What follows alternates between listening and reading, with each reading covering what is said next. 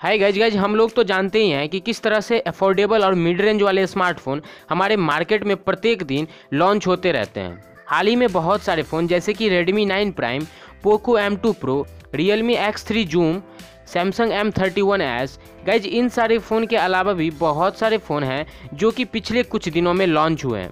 और गाइज़ इसके साथ ही कुछ ऐसे भी स्मार्टफ़ोन हैं जो कि इस महीने यानी अगस्त में इंडिया में लॉन्च होने वाले हैं अपने बेहतरीन फीचर के साथ। तो चलिए गाइज़ वीडियो को आगे बढ़ाते हैं और जान लेते हैं अगस्त में इंडिया में लॉन्च होने वाले फ़ोन के बारे में।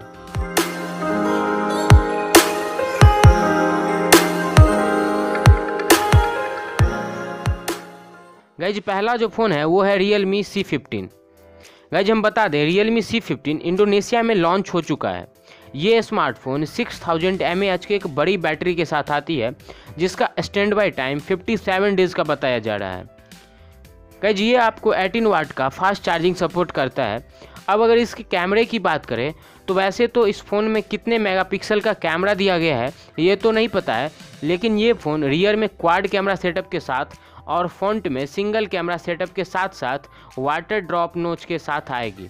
इस फ़ोन के बैक में आपको फिंगरप्रिंट स्कैनर मिल जाते हैं। गाइज़ इसके बॉटम एज में आपको 3.5 पॉइंट mm का ऑडियो जैक मिल जाता है। अगर इस फ़ोन के डिस्प्ले की बात करें तो इसमें आपको 6.5 इंच का H D plus display water drop notch के साथ मिल जाता है।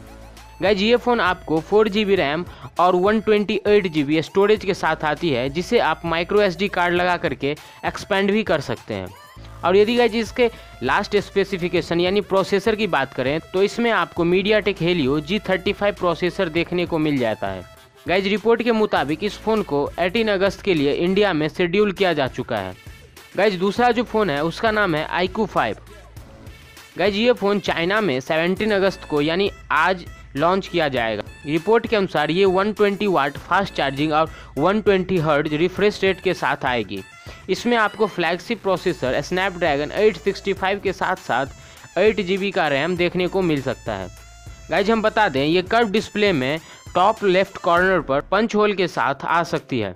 तो देखते हैं, ये स्मार्टफ़ोन इंडियन मार्केट में कब तक किस डेट को देखने को मिल सकता है।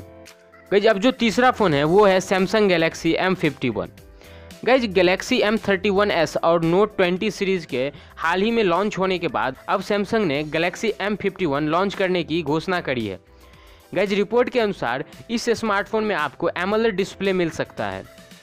साथ ही इस फ़ोन में फ्रंट कैमरे के साथ साथ रियर में क्वाड कैमरा सेटअप देखने को मिल सकता है, जिसमें 64 मेगापिक्सल का प्राइमरी कैमरा जिसमें आपको सैमसंग का अपना ISOCELL Bright G W one sixty megapixel sensor देखने को मिल जाएगा। ये स्मार्टफ़ोन आपको मार्केट में दो वेरिएंट 64 जीबी और 128 जीबी में देखने को मिल सकते हैं, जिसमें आप माइक्रो एसडी कार्ड की मदद से इसे एक्सपेंड भी कर सकते हैं। गाइज़ रिपोर्ट के मुताबिक इस फ़ोन की कीमत गैलेक्सी M31 से ज़्यादा हो सकती है। और साथ ही गाइज़ इस फ़ोन में आपको सैमसंग का अपना प्रोसेसर एक्जीनोस देखने को मिल सकता है।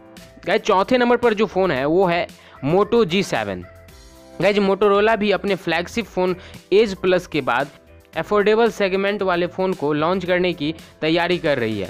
गाइज़ इस स्मार्टफ़ोन मोटो ई सेवन को गीक बेंच में स्पॉटेड किया गया, जिसमें आपको ऑक्टा कोर स्नैपड्रैगन 460 प्रोसेसर के साथ फोर जी बी रैम और sixty four G B storage मिल सकता है।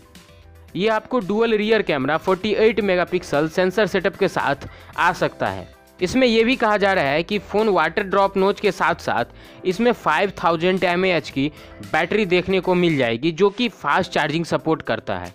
गाइज़ अब जो फ़ोन है, वो है नोकिया 5.3 गाइज़ नोकिया ने फिर अपने एक स्मार्टफ़ोन को इंडियन मार्केट में लॉन्च करने की तैयारी कर रहा है। गाइज़ रिपोर्ट के अनुसार नोकिया 5.3 आपको इंडियन मार्केट में अगस्त के लास्ट वीक तक देखने को मिल सकते हैं, जिसमें 6.5 इंच का एच प्लस डिस्प्ले, जो कि स्नैपड्रैगन 665 प्रोसेसर के साथ आ सकती है। गाइज़ र्यूमर्स के मुताबिक इस फ़ोन में 4000 थाउज़ेंड की बैटरी और ये फ़ोन क्वाड कैमरा सेटअप के साथ, जिसमें आपको 13 मेगापिक्सल का मैन सेंसर 5 मेगापिक्सल का वाइड एंगल कैमरा 2 मेगापिक्सल का माइक्रो लेंस और डेप्थ सेंसर मिल सकता है। इसके साथ साथ फ्रंट में आपको 8 मेगापिक्सल का कैमरा देखने को मिल सकता है। गाइज़ इस फ़ोन की कीमत पंद्रह हज़ार से नीचे का बताया जा रहा है।